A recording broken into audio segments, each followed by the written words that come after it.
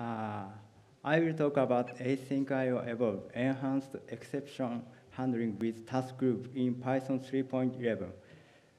This is my first time in Prague. It's such a wonderful city. I, yeah, uh, yeah. I want to thank the staff for the, this wonderful conference. Yes, hi. My name is Junya Fukuda from Nagano in Japan. And you can find me on Twitter on Junya FFF. In English, my name often gets confused with Junior. But it's not Junior, it's Junya. if it's hard to pronounce, uh, feel free to call me Jun. Uh, please free, feel free to take picture and tweet. I'm a software engineer at GrooveX Inc., and I also write and translate English book. Currently, it's only available in Japanese, so it's an excellent choice for those wanting to learn Japanese. Well, today I would like to introduce a new feature of async and new Hello-ish world. This is our goal for, the, for this talk. Introduce Python 3.11's new API, async task group. Compare and explain, and explain the difference between Python 3.10 and Python 3.11. Uh, we can write exception this easily, so this is how cancellation works. I hope this talk will inspire you give the new API async IO task group, task group a try. I will guide through a reliable and safe way of writing with async task group. And I hope that together we can reach this new Hello-ish world. Why? I'm, am I giving this talk? You might ask. There's uh, too many reasons. So I can cross a tweet by Python core developer Yury. He's one, my, one of my heroes and the author of the async PEP.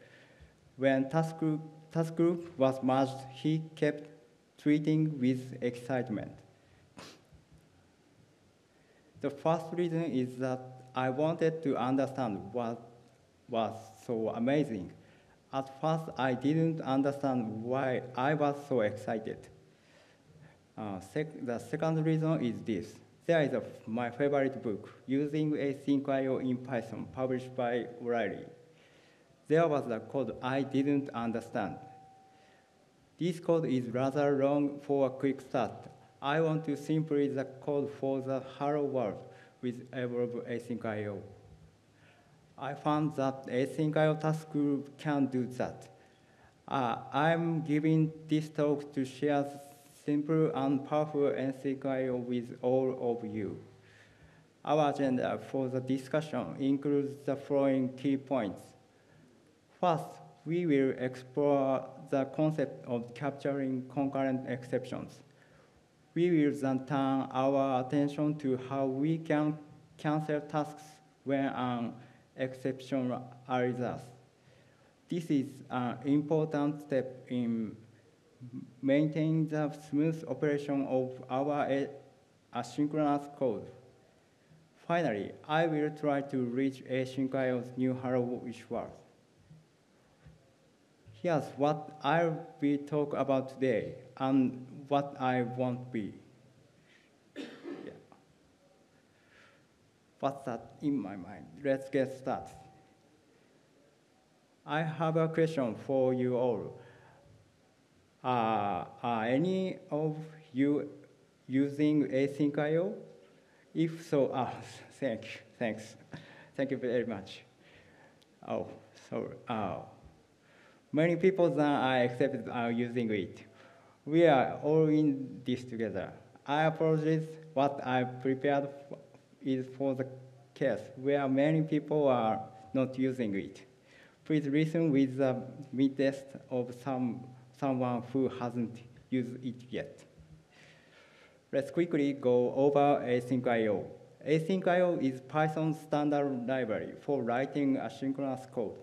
It enables handling multiple tasks concurrently, especially effective when dealing with IO-bound tasks such as database access or HTTP requests. With every new Python version, async IO continues to evolve. High-level APIs have become more, more and more solid and very user-friendly to write code for. Sure, uh, with that in my mind, why don't we use it? It is really so. Let's think about it a bit. So I've given some thought to why we might not use async I.O. Here's a quick rundown. Today, the focus is here. Asynchronous processing seems like it might behave unpredictably. What happens if you exception occur in this process? Have you mentioned or been asked this during a review? Seems like it might behave unpredictably. I'm con I'm concerned about the behavior of the con coroutine when it is accept, ex executed. A new, new feature that solves this issue. That's where async IO task group comes in, aided in Python 3.11. The basic feature of async IO task group is the multiple tasks and handle concurrently, all at the same time.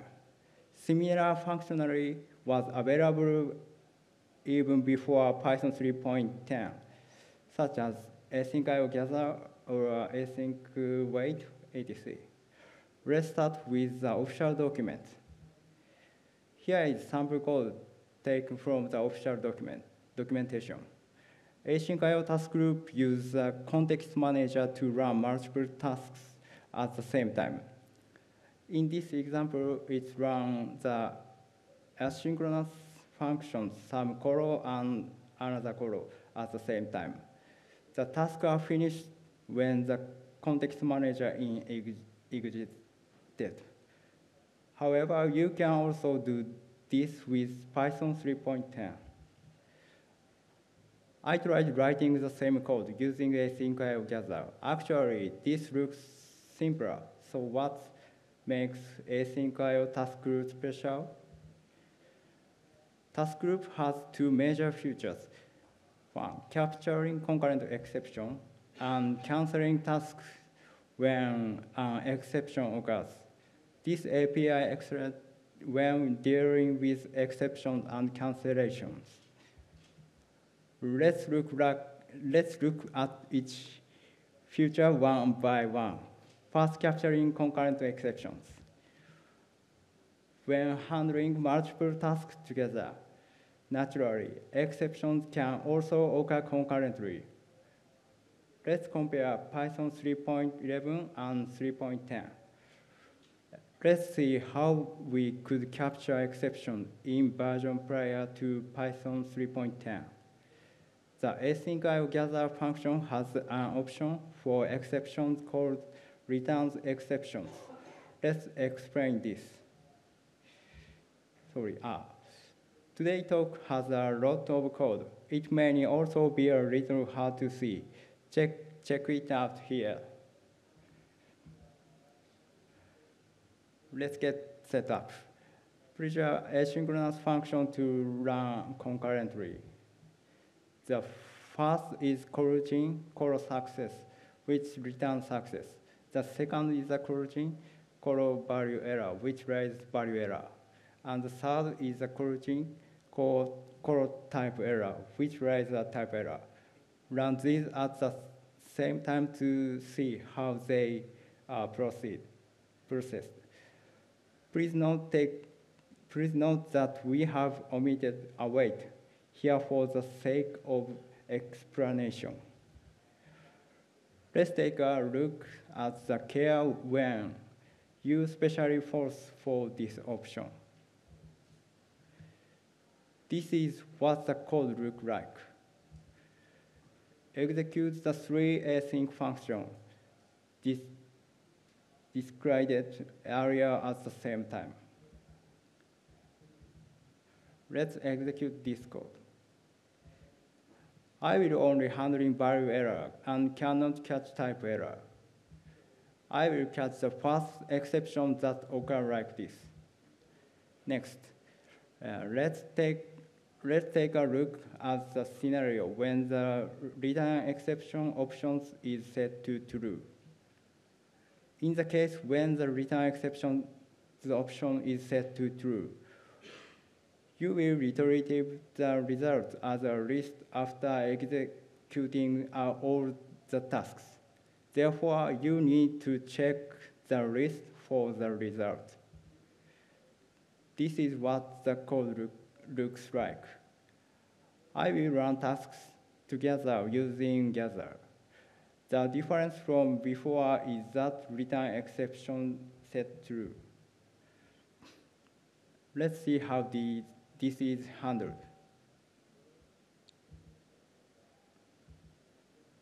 The results will be returned as a list.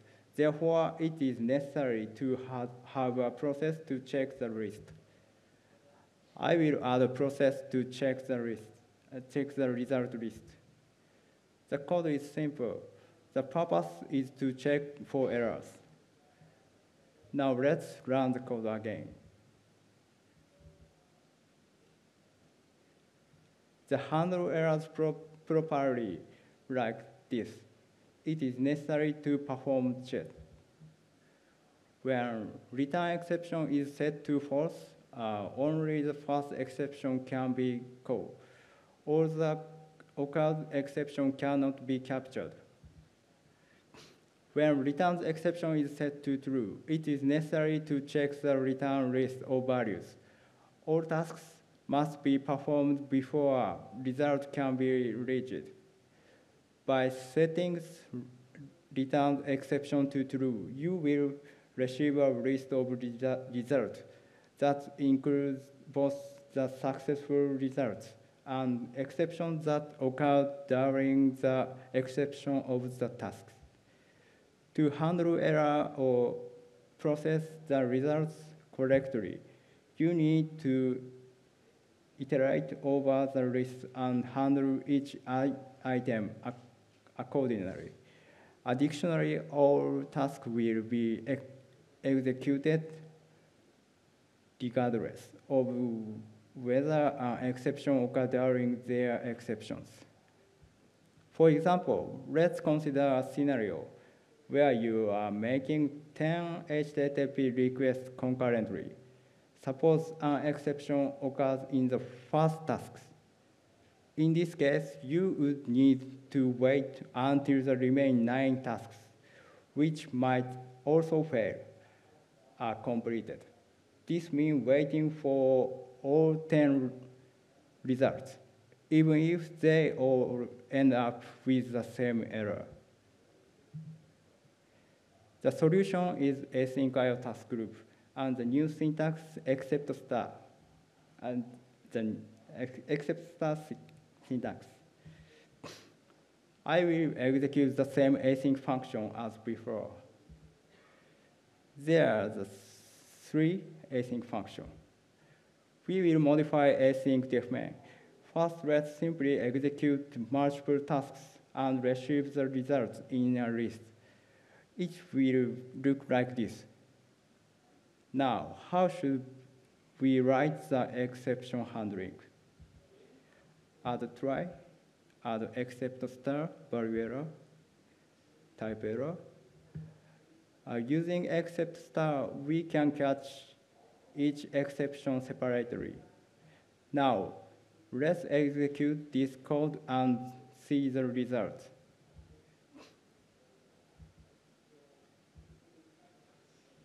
You can see it catching both of the two exceptions, value errors and type error. It can catch exception occurring concurrently.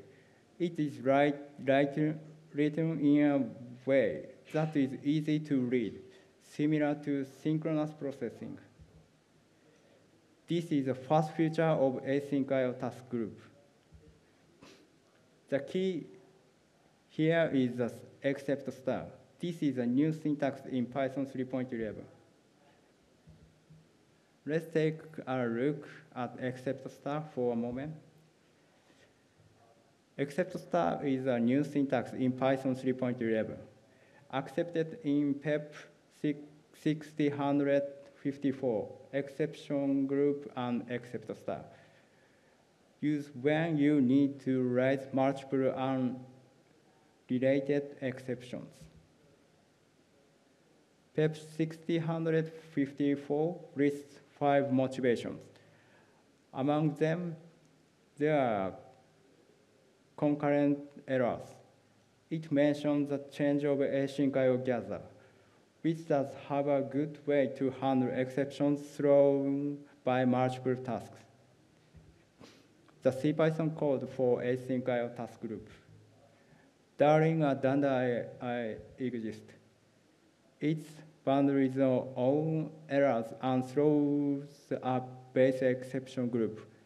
It's it is a contents of the errors are only subclass of exceptions. The base exception groups constructor returns an exception group. See this reference you for deal on exception group. Next, uh, canceling tasks on exception. What happens to the remaining tasks being executed concurrently when an exception occurs. Depending on the situation, the re remaining tasks may just continue to run. Let's look at an example for, of when async IO gather is used to use and tasks are left over. Add an async function, wait a bit there are three functions. Oh, add um, an async function called long, async IO sleep and print. Execute three async function in async IO gather. We are done for clearly when it, it is executed. Now let's execute.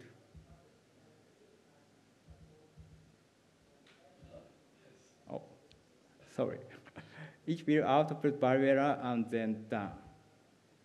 After done, there will be an output from the aided asynchronous function colon saying colon task is still running. In async, I, async IO gather, when an exception occurs, other tasks remain running. This makes it difficult to predict behavior you, you may want to stop or roll back what should you do. Cancellation. Cancellation comes into play here. In some cases, the remaining tasks are executed as they are. Cancellation is not new feature. You can also cancellation with async IO gather. Let's modify the previous code. There are three points of modif modification. First, we add a post-processing to the call long async function that gets canceled. Uh, next, we check for remaining task, tasks and instruct them to cancel. Finally, we wait for the com completion of the post-cancellation process. We use, we use task cancel function to cancel a task. It sends a cancellation request to the task. Then, an async IO cancelled error exception is sent to the cancelled task.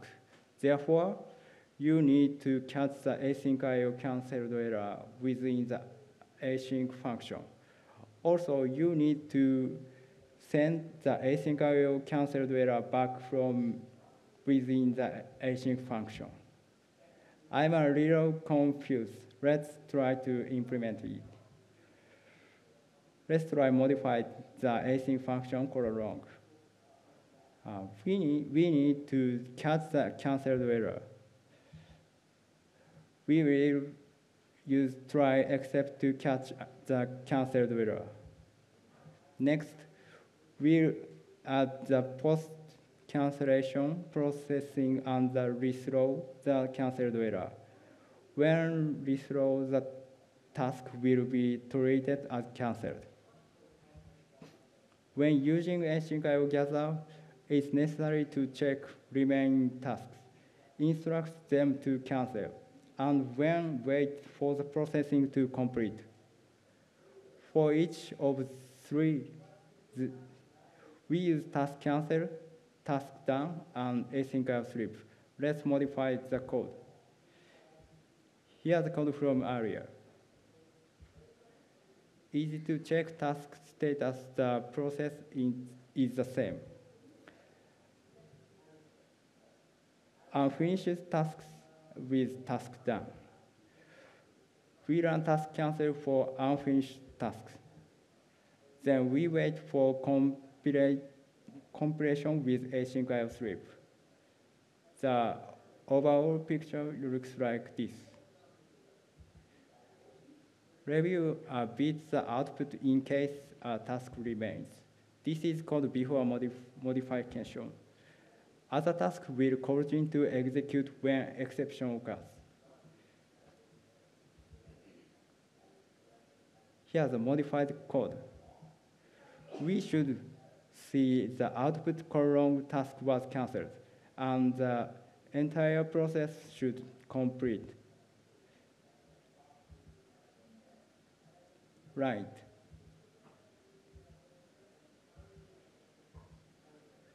When cancelled, the async, async function gets the cancellation. This is the basic for cancellation. When using async IO gather, it was necessary to check remaining, ta remaining tasks, tell them to cancel, and wait for processing. Let's examine, examine the case with async IO task group. With async IO task group, all remaining tasks get canceled automatically when the context manager is exited, and it waits for the cancellation process to finish. Simply, simply put, there's no extra work required. The tasks get canceled on their own. Now, let's refactor the code we just wrote. Here is a code from earlier. Refactor here first. Turn gather, and review the task creation. Put the result in one of the get result. Put answer next to the accept. checking the task status and waiting for the cancellation process are not necessary. So we will remove, remove them. It's the same as using the task group normally. With this, we can cancel the tasks. Let's give it a run.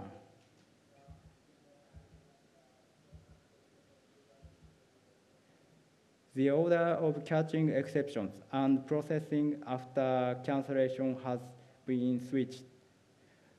This is because we are doing the cancel cancellation process after catching exception before. Task group properly manage the tasks within. Since everything is wrapped up within the task group, it results in more productive behavior. Now, that we have seen features of a single task group, exception and cancellation has been simplified. Finally, uh, write async IO code in reliable and safe way, the new standard hellish world.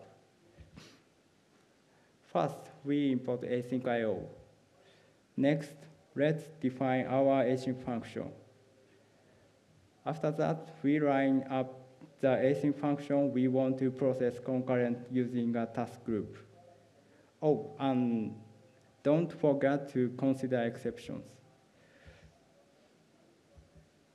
We don't have to worry about cancel cancellation here is handled automatically. Finally, we execute it with async IO run. How about this for hello-ish world at Python 3.11, considering cancellation and, uh, sorry, con considering exceptions and cancel cancellations. Uh, quick start introduce first. It was checking the status of the task and waiting for the cancellation process. Some function and argument are duplicated, so if I went to do this in Python 3.11, I would probably to probably do the following, in, including exceptions. The book is excellent. Please check it. Catching and canceling exception with async task group was introduced. I, I'd be delighted if this talk serves as an opportunity for you to reconsider your current code or speak an interest in using async for the first time. Please enjoy more comfortable async IO life. Hello, Juan. Sorry. Sorry. Uh, uh, Yeah. we have This to stop appendix. now. Yeah?